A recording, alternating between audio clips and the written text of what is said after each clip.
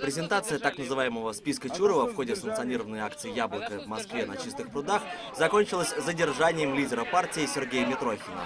Как утверждает полиция, Митрохин не повиновался их требованиям и сдвигал установленные вокруг памятника Грибоедову заграждения. За три часа до этого митинг действительно начался с конфликта. Полиция перегородила удобный проход, чем, собственно, и возмущался Сергей Митрохин. Со стороны метро перекрыли вход людям.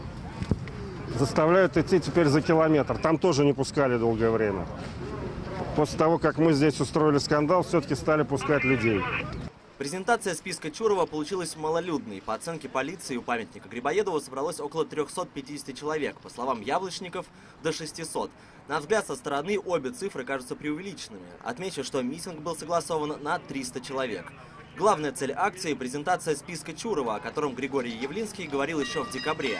В список предполагается включить всех членов избиркомов разных уровней, которые, по мнению наблюдателей, виновны в фальсификации выборов. Фотографии первых нескольких десятков участников списка Чурова были размещены на своеобразных досках позора, которые яблочники принесли с собой. Цель составления списка объяснил Митрохин в начале митинга. Это тот инструмент, при помощи которого общество пытается сопротивляться всему этому позору. Мы надеемся, что эти списки нашими общими усилиями будут выставляться не только здесь, и фигурировать не только на интернет-сайте партии «Яблоко», мы надеемся, что эти списки скоро будут демонстрироваться в школах. Основной объект ненависти для яблочников – сам председатель Центральной избирательной комиссии Владимир Чуров. Актер, наряженный волшебником Чуровым, показал участникам акции сценку «Как происходят выборы». Вот он показывает избирательные урны, они пустые. Актриса-избиратель опускает бюллетень, следует подсчет.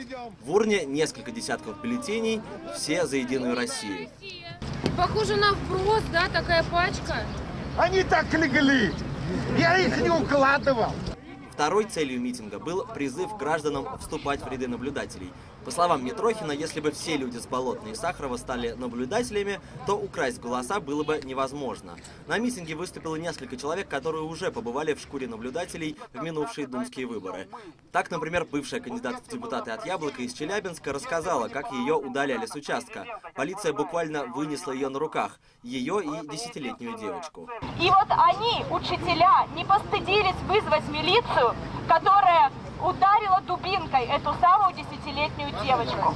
Однако эти страшные рассказы вроде бы никого не обескуражили. Люди действительно записывались наблюдателями, по крайней мере те, кто приходит на такие митинги. Просто если сидеть, ничего не делать, решение не придет.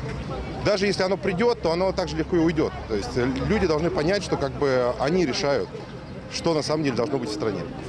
Они, а, кто-то, кто-то сверху, кто-то другой. Должны все в это верить, что можно изменить ситуацию, и каждый должен начать с себя. Не прятаться по норкам, как премудрые пескари. Митинг продолжился до половины третьего, но так как акция была согласована до 16 часов, то некоторое количество людей все равно оставалось на площади. Продолжался сбор подписей в пользу Явлинского. Задержанного после митинга Сергея Митрохина доставили в Басманный суд. Как он написал у себя в Твиттере, ему инкриминируют нарушение, которое наказывается 15 сутками ареста. Лев Пархоменко, Дмитрий Трещанин, телеканал «Дождь».